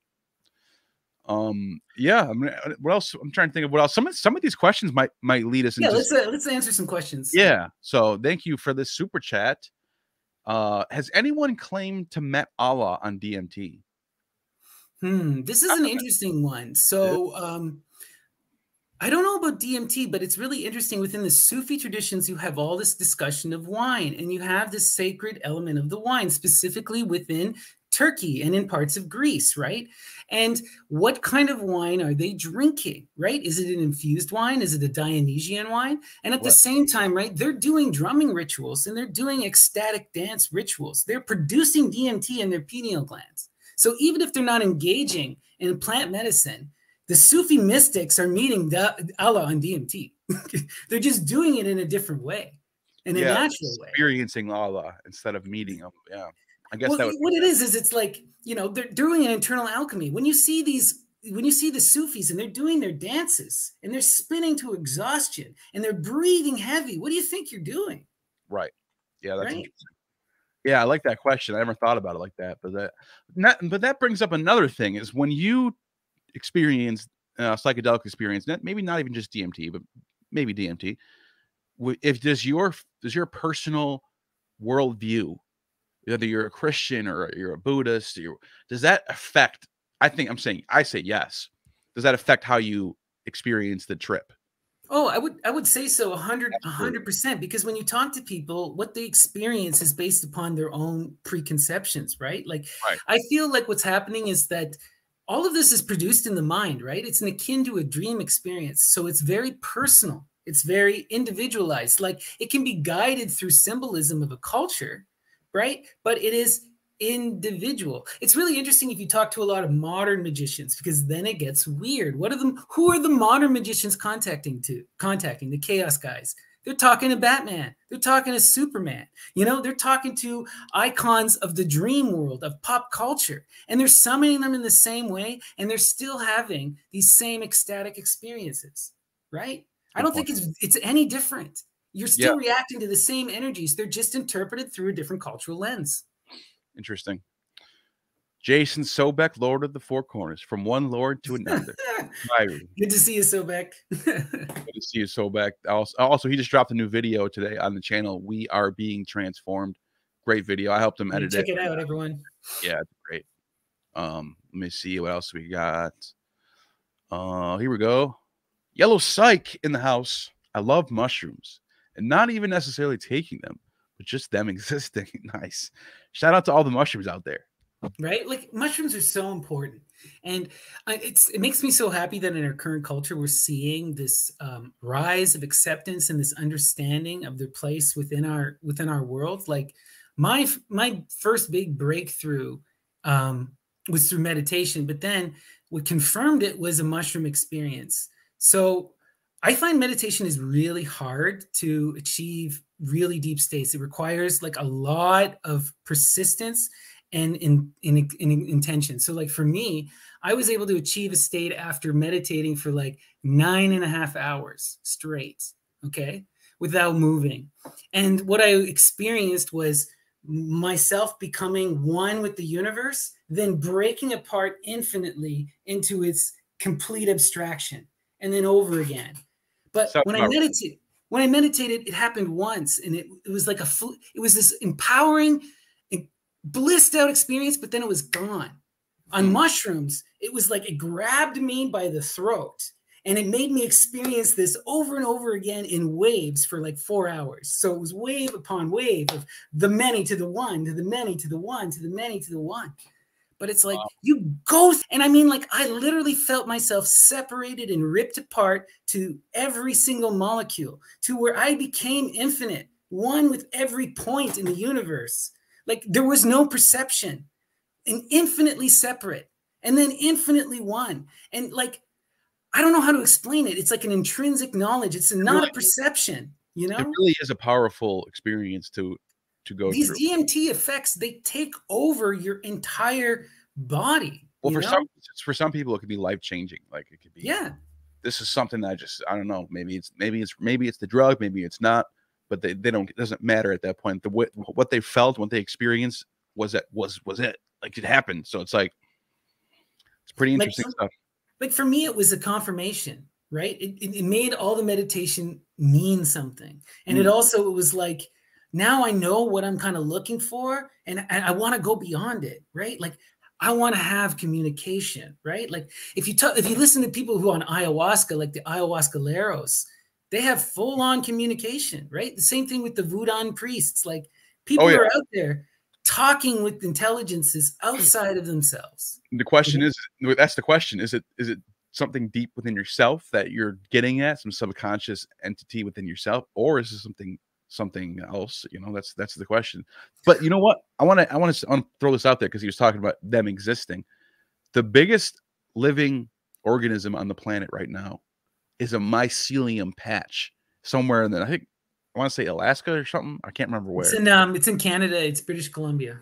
Yeah, yeah. And there's this giant chunk miles long of yeah. one one entity. It's so the largest the largest single organism that ever lived ever lived was one mycelium that it was called the Great Plain Maker. It stretched from Alberta almost all the way to Florida. Now, why why is it called the Great Plain Maker? Because it killed like it destroyed forests and turned them into plains over over yeah. thousands and thousands of years. So this is what they were saying. I, mean, I have an image of like what they look like underground, and so they would there'd be miles of these things. And oh, whoops, I got to delete this. And they form symbiotic relationships with themselves and the yeah, trees, they can, and they have they, dialogue. They're, very, they're conversating. They're a, they're very um, intelligent as far as like the capacities. Um, they can take ecosystems like trees and break them down and like produce water and all types of weird, crazy, like uh ecosystem changing stuff, basically. Yeah, so, there's a there's a dialogue that's happening between them and the trees, you know. Right. That's what that's what they're saying. There's some something going on with that. That's interesting stuff. I want to get someone on who's an expert on that stuff and really ask them about that stuff because that's just mind right? It's mind blowing. yeah. Thank you for that super chat. Uh, you know, it's like Max the Confessor What's the role of imagination in the Vedic traditions? In Eastern Orthodoxy, imagination is prohibited in prayer. So by extension, psychedelics too. Mm. Um, I mean, so you get this whole tradition of dhyana, which is concentration. Um, and yeah, that's about eliminating the imaginative. It's about fixating yourself onto a certain point, but there's still a lot of this imaginative stuff that's happening. It's just happening through a yogic kind of process. So there's, I don't ever see like an elimination. Like maybe within some sects, they're like, no, no, no, you can't have any images of any kind. But usually what you'll see is actually you want to project the image of your God, of the God into your third eye. You want to visualize these things. You want to um, have an imaginative con- connection with what you're focusing on. So often you'll see things like yantras, which are two dimensional drawings that are meant to be projected into three dimensional space with your mind, you know? And they'll, form these like cube like objects. If you get right into meditation, you can actually make them like disembody out of the shape and appear in front of you. It's uh, it's there's some really powerful stuff going on in all of this yoga and it's deeply imaginative, but it's a restricted imagination, right? They're not just telling you to sit and let your mind run wild. If what they do is they tell you to do that until your mind runs out, until it stops talking, and then real dhyana can take place, real conversation. Yeah, good point. That's a really interesting point. Thank you, Melody, for that. If you're enjoying the stream, hit the like. But um, I didn't mean to jump off that question. I was just I just wanted to throw that up there because I saw it. No, but uh, but yeah, it seems like there's um no, that's I did not actually had nothing to add to that. that I think you said that pretty well. Um, yeah. Like, there's it's enough, like you do yeah. get these you do get these like um so within the Vedanta tradition later on you get this concept called of, of, of Advaita Vedanta and then especially within modernity you now see a lot of people who are like this where they're the idea is all about God is neti neti he's not this not that so it can't be anything that you can conceive, that you can project. So to project any kind of imagination upon deity is to corrupt deity. So you do see this, but it's in very much uh, limited monastic sects within the highest echelons of, of yoga. Like the average Indians aren't thinking like this. Maybe some guys who are reading the philosophy, but not not your average practitioner. Most people are imagining their deities in their third eye, you know? Wow. Thank you. Jason Stewart, thank you for the super chat. Is the forbidden fruit of Eden pine cones, pineal? Well, uh, we do have the pineal gland represented by the pine cone in the cult of Dionysus. We do have the pineal gland represented as the eye of Horus, and we do have, have the Catholic Church. They have the staff with the pine cone on it. Right? Pope, Pope and then we have the we have um we have a lot of this stuff with throughout the indian tradition in various tantrikas and various symbols as well. It's very clear that these people are aware of the pineal gland. They're aware of the production of dmt and they're purposefully going through physical alchemy in order to produce more dmt whether that's the ingestion of drugs or it's like uh, physical exertion in music you know yeah i just wanted to show something real quick this is actually kind of mind-blowing because on one hand in the Catholic Church, you have you have this staff. Now it's not on top like the thri- the Dionysus is called the thyrsus, where he holds the staff with the pine cone on top.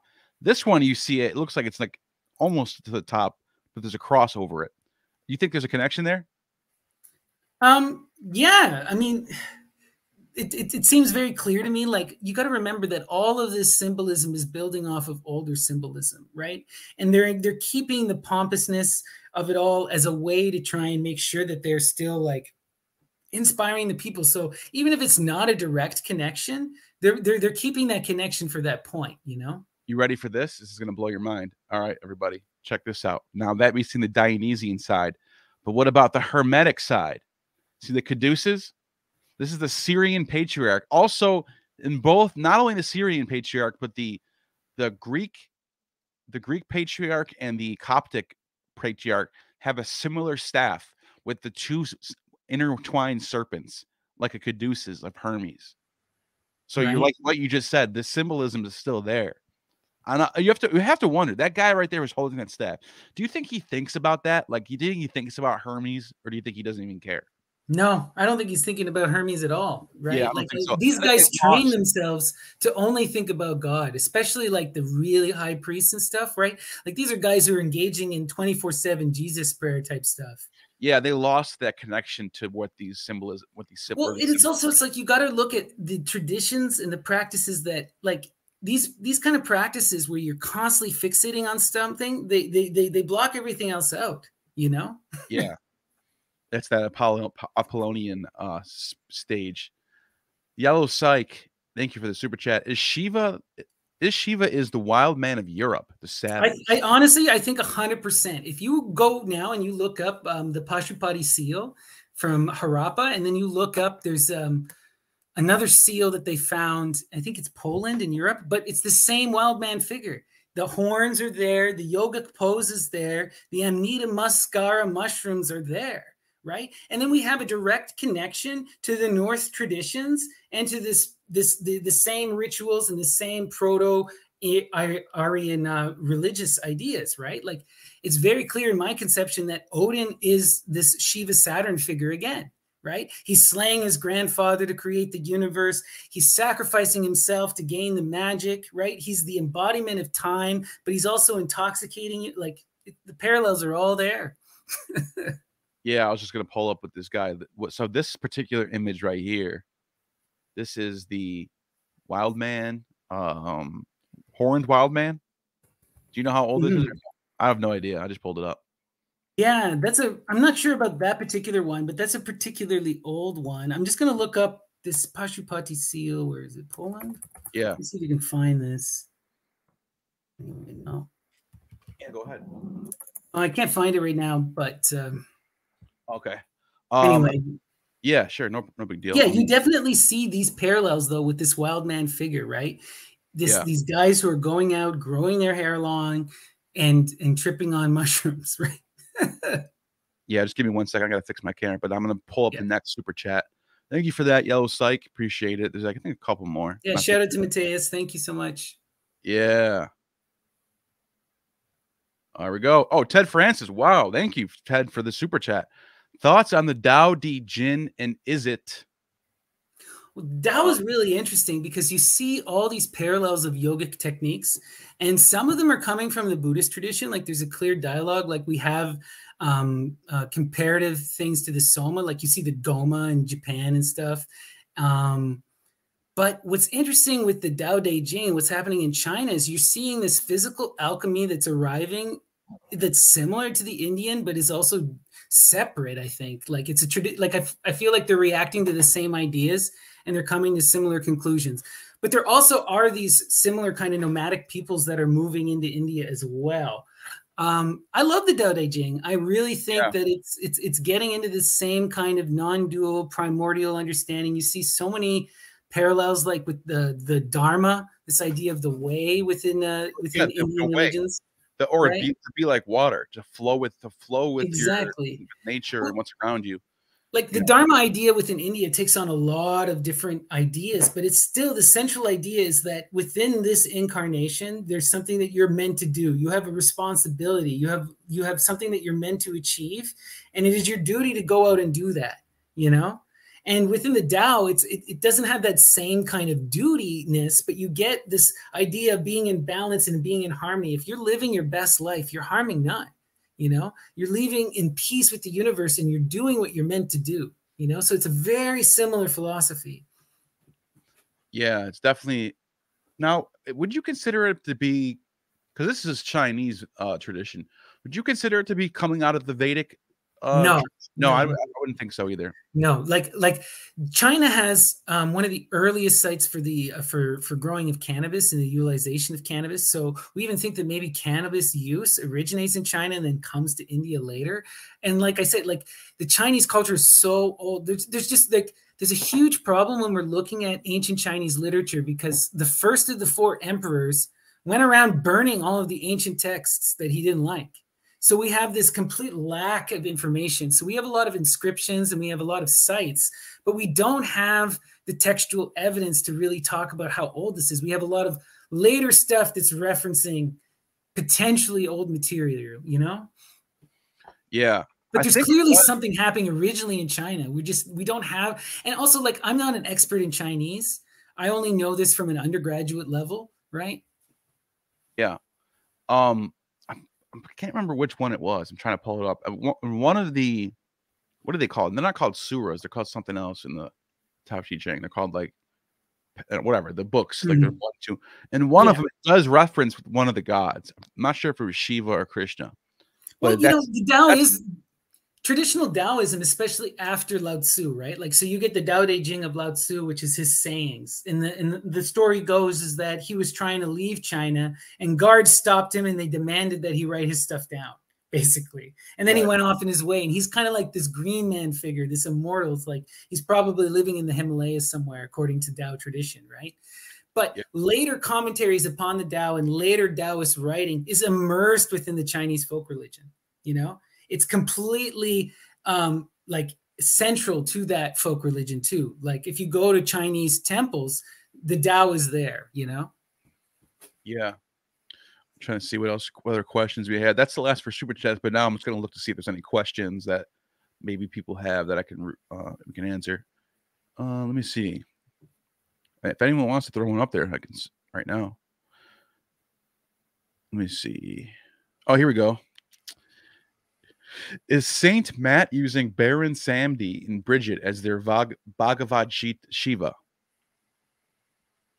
Hmm. I don't really know what that. I'm not sure what Saint Matt is. Saint Matthew? Oh no, Santa Mont. Okay, yeah, yeah. So they're talking about voodoo here. So uh, the Gay Day cult, yeah, yeah. This is um, this is in my opinion very much related to that same Shiva Saturn kind of idea, right? So Day Nebo or Baron Samedi, yeah, this is your your Saturnian figure, right? It's really interesting within the Yoruba religions and within Voodoo because you have parallel conceptions. You have like the positive version of the gods, and then you have the negative version of the god. Um, I'm not as deep into Voodoo as I'd like, um, but they're they're they're clear in my mind, reacting to the same kind of destruction, violence, kind of understanding, and this sexual tantra that's going on. You see similar parallels across Voodoo. Yeah, I just wanted to pull this up because somebody asked, "What's his YouTube?" So I just pulled it up. Lord Snappy. Look yeah so i do i do on my youtube i'm doing body percussion you know so like uh, i studied on with uh, doing brazilian and african percussion and that's mostly what this channel is dedicated to um, if please come on to the discord if you want to to discuss this kind of stuff um, i moderate the the myth and lore discord along with mateus yellow psych who's been commenting here and we want to have as much of this kind of esoteric discussion as possible you know like uh, we're really interested in exploring and probing the depths of comparative mythology. Absolutely. McCrinen with the soup with the question. It was the yin goddess from before the impersonalization, and that it's probably analogous to Durga Ma. Yeah, I mean, um, I'm not sure 100% what you mean with the yin goddess. I don't know too much about the yin goddess, but you know, like Durga Ma, right? That's the the mother uh, embodied, but it's the mother in her fierce protector form. So that's Shakti energy as this motherly protector. She's that energy of defending my children at all costs. Oh, so it's I, not the complete chaos of Kali, you know? yeah, I looked it up, and there actually is a god in China called Kan Kuan Yin, and it's a Sanskrit god. So it is Oh, proto interesting. proto Chinese, but also There's- part of China. There's yeah, so much in Uh, yeah, I would say. McCriden's out of something there. yeah sure. probably I, I wouldn't be surprised right there's like there's so much cross-cultural dialogue and it's something that a lot of people don't talk about is that the hindus were proselytizing at one point and were moving their way into south asia like we have Right. hindu groups that were existing in thailand in champa in indonesia you know across those islands like yeah and then Yeah. buddhism proselytizes everywhere makes its way all the way to egypt right Right. And um Alexander the Great, when he got to India, they thought that was the end of the world. They thought that was India and that's it. When they got there and they realized that there was a war, like they call it the warring states period. And it's right, it's like 300. I know, I think it's like it's after that. But anyways, it's like it's like 300 BC to 300 AD. Like, but like right before that is where Alexander's coming in, but they were still very like much of a warrior society in China and they found out like through the intel that if they kept going, they're gonna get stomped out. Like they're they're they're not gonna make it. And so that was finally when Alexander the Great said, "All right, fine, we'll go home." He wanted to keep going. Of course But- he did. He was a total crazy man. Yeah.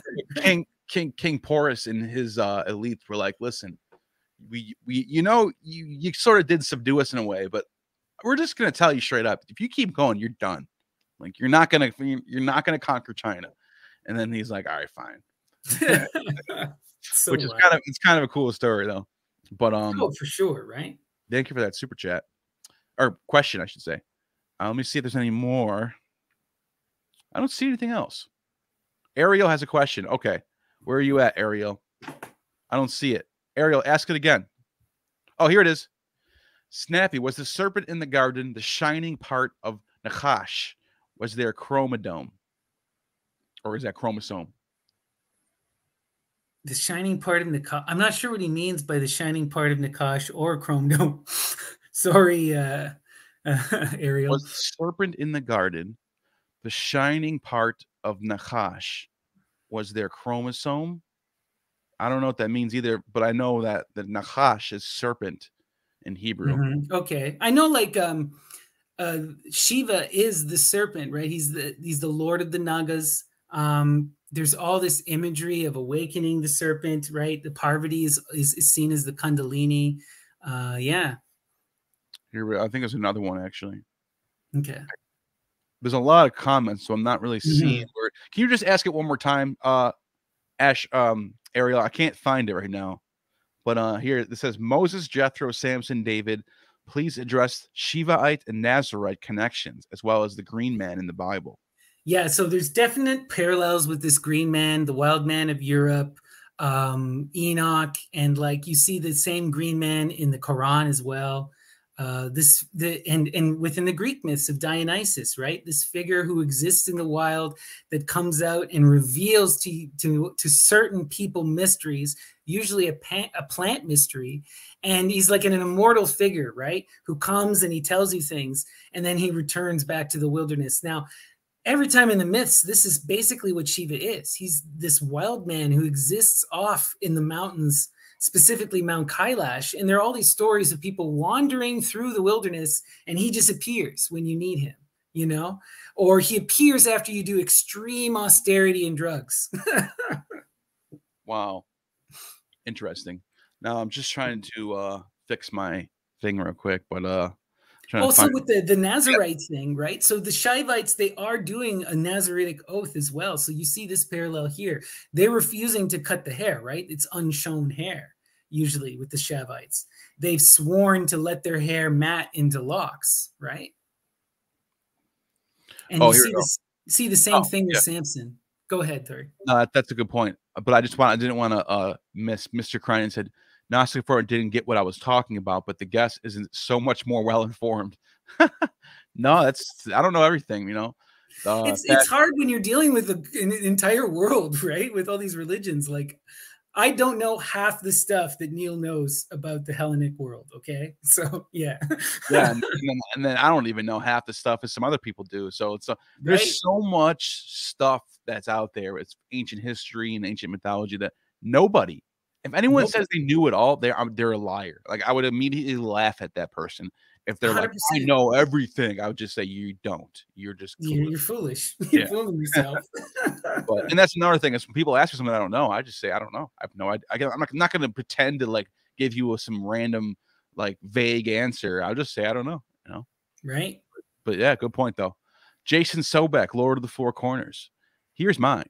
What does Lord Snappy think of the parallels between the Eastern sages and we were just talking about this and the Ablican and Neoplatonic theology? Before you say anything, on top of that layer, because that's a really good comparison, that's the later sages. But the earlier sages, you have at the same time, you have uh Pythagoras is living and possibly Zoroaster's living in Persia, and also um Confucius in China. So across the whole continent, you have three of the greatest thinkers in world history living on the planet at the same time, and they don't even know each other. Right? That's well, crazy. Within India, this period of 600 BCE to about 200, some say 100 BCE, is like the flowering of such incredible philosophy, the birth of the epics, the birth of Buddhism, of Jainism, of uh, the Kapila Muni, of Patanjali, of the Upanishads, there's such this incredible flourishing of knowledge. And it's all based around the idea of this sacrifice no longer being reserved for the highest echelons. The rituals being dispersed, the yoga being practiced by these individual people, and the syncretization that happens that allows these people to influence and to talk philosophically among these other schools. You get all of this dialogue where people are competing and they're they're it's not like an all-out war right like these are people who are having these different philosophical ideas and are fighting like one of my favorites about this is like even after the jain philosophy stops being relevant in india and it's starting to be on a serious decline a lot of the kings keep the Jains around because they have this philosophy called Anekantavada, which literally means many sidedness. Because what's central to the idea of Jain creation is that the one becomes many to have perspective, and that truth itself can only be understood through multiple perspective. So it's only when we all come together as a whole and we have a larger number of perspectives that we can ever get closer to the truth. And this is where you get that really classic Indian story of the uh, monks all grabbing the elephant, right? They're all blind. And you have one monk who's grabbing the tail and he says, Oh, this is like a snake. Another monk grabs the leg and he says, This is like a tree trunk, right? And then another grabs the tusk and says, This is like a walrus. They're mm. all wrong, yet they're all right. I love that. And Anekantavada tells us that it's only when you get them all together that they come together. This philosophy had such sweeping impact across India that it literally meant that the kings would listen to everyone. They would bring in all the various philosophical people and have them debate. You know, so you get yeah. this incredible thriving, and you see the same thing happening in the East right? Yeah. With the Neoplatonism and all of this talk, when, when when the East and the West start to meet, you know. Well, this is the thing. You mentioned how the kings in the east are keeping the, the Jainists around. Well, you have in the Christian Byzantine Empire, you have basically there's no more paganism, but the Neoplatonists are still lingering around. In fact, some of the sages might be living right next to, in the same corridors as uh is like whatever king, whatever emperor was reigning, uh, Constantine six or whatever. I don't know, mm-hmm. throwing names out there. But there'd be like some Neoplatonist philosophers still around in the king in the court of the emperor in in Constantinople. Why? Because you know why not? Also, you, want, you want that wisdom to be around you. You want to hear the other people. You know. I also see direct parallels between the Neoplatonic theurgy that's happening and the development of the Yoga Bhakti tradition. So Bhakti is something it comes out more of the the Indian Middle Ages, but it's this it's the divine worship. It's this idea of throwing yourself into it's it's dualistic in its approach largely, but these people it's the worship of God that becomes the central thing. Engaging in the in the in the love and engaging in this you have to give yourself over to the God. You have to embody the God. You'll even see um, bhakti sages, like the famous one would be, uh, what's his name? Oh my God. The, found, uh, the founder of Gaudiya Vaishnavism, which is like the largest branch of Vaishnavism, the, like the modern Hare Krishnas follow them. Their original founder used to be possessed by the spirit of Radha, who's the lover of Krishna. And then he would engage in lusting after God. So, like, he would lust after God in the way a teenage girl lusts after a crush. And this was seen as like the highest pursuit of the divine. It like you wanted to make love to the divine, right? Like within these traditions. It's like love becomes this this erotic experience, right? Like you're supposed to by having this erotic emotion and by having this passion for the deity, you bring the deity out in and of yourself. The deity possesses you. Your body becomes a temple unto God, you know? Yeah. Now, someone, Yellow Psych, dropped a super chat that the Discord link is broken. Um, is that oh, that's no. the case? I'm clicking on it on mine. I'm going right. It's bringing me right to the Discord. So I maybe, know that those links expire really quickly. Okay, so what I'll do is if anyone wants, if Ariel help me out and send me the right link, I'll put it, I'll switch it up right now, or as soon as I get off this course, um, or I mean course, uh, this mm-hmm. live. But I think there might have been one more question. I can't remember if there was or not, but that might be it. But let me just see. Yeah. Oh, here, this might be a question right here. Why the de facto dislike of psychedelics as legitimate means for visionary experiences, though? Young snaps, all roads etc. Honestly, like I think it's this. Um, it's it's about maintaining control, hierarchical control. Um, there's it basically psychedelic experience is extremely hard to regulate. Everyone's going to have something different, you know. So what you do is you occlude it. You take the drug and you put it within a rite and you you make it ever ever and more mysterious and more layered and then you just remove the drug entirely and you still have the whole system in place and people still believe in it even though there, there, there's now there's nothing at the end of it right? It's a it's a it's it's all about systematic control. And how do you because they want you to experience their interpretation. They want you to believe in their legal framework of how to function in society. They don't want you to trip and see god and come up with something yourself. Absolutely. Great point. Um that's it for questions. So that was great. Uh, dude this honestly this was really fun man. Like yeah this, this is amazing. Yeah i think we'll uh definitely do more of these and keep the discord link. If, if it's not working right now i'm gonna have fix it within the next five ten minutes so it will be fixed. And, and uh, i'll be over on the discord link like if people want to come chat with me afterwards you know? Yeah, we'll, yeah i'll be over there too. i'll be over there too. I'll jump over there as well. And also don't forget snappy's channel. Hit the subscribe button do you plan on doing any more content anytime soon? Yeah, um, I, I, probably will. I've been more active on TikTok as of late. Oh, um, see, I don't, I don't have TikTok, so I can't log in. But yeah, but the thing too is like, I've been moving a little bit away from the music and more focusing on this. I hope to get uh, my own esoteric podcast started in the near yeah, future. So no, keep you your really, eyes open. You absolutely have what it takes.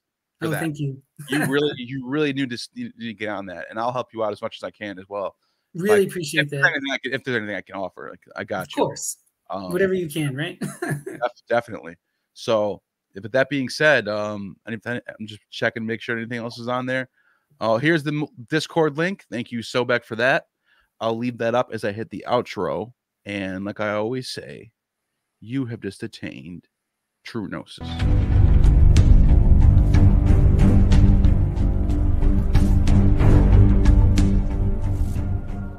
You have just attained true gnosis.